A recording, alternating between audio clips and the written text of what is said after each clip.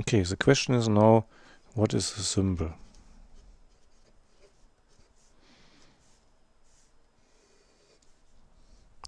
So remember,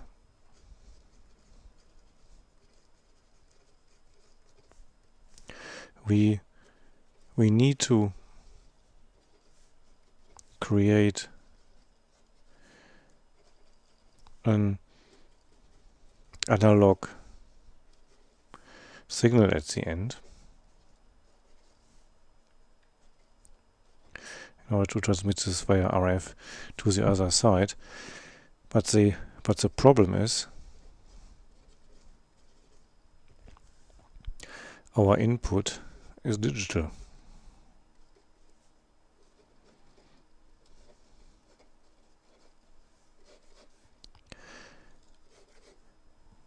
The crucial point is now if we have a stream of data, so let's say this is our data stream here 0, 1, 1, 0, 0, 1, 1, that we need to turn this into some kind of more analog levels. Yeah, so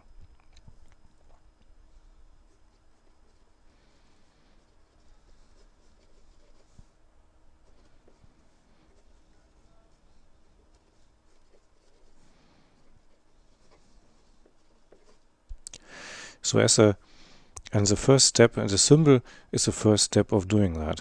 So it's not, not the only step, but it's one step. And so the solution is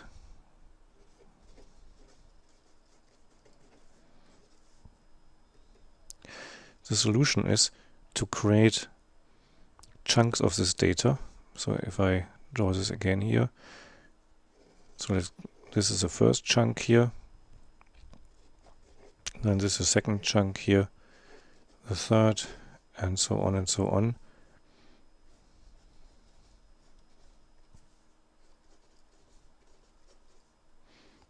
Create chunks and um, transmit them as um, unique waveforms. For every combination here, create a unique waveform. Create chunks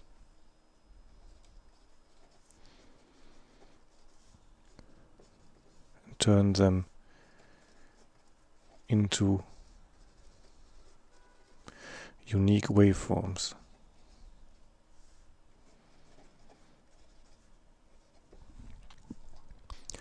Okay, so let's continue with this symbol. So we could also say that, so we've got our data stream here zero one one zero zero or something like this. And so we are creating these these chunks here. And um, so every chunk here contains k bits. So in this case here 4 so again k bits k bits and so and so on and so on and so every chunk here, this chunk lasts for t seconds. And this again lasts for for t seconds. And these sequences are then turned into into a into a unique waveform. So if we have, let's say this one here turns into into something like that, and um, this one here turns into this level, and and so on and so on.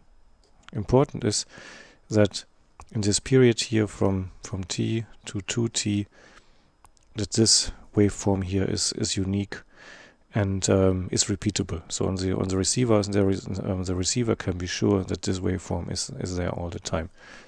So remember, and this is here done by by this so-called pulse modulator.